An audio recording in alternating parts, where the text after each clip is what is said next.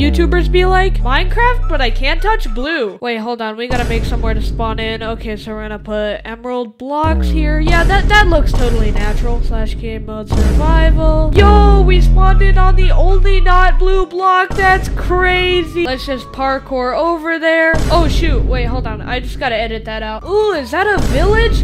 Let's just parkour over there too. All right, guys, so we arrived at the village and there seems to be an iron golem. Ooh, five iron that I definitely didn't spawn in. All right, now we just have to find a good cave. Ooh, this one looks pretty good. All right, cool. Now we just have to put some diamonds down here.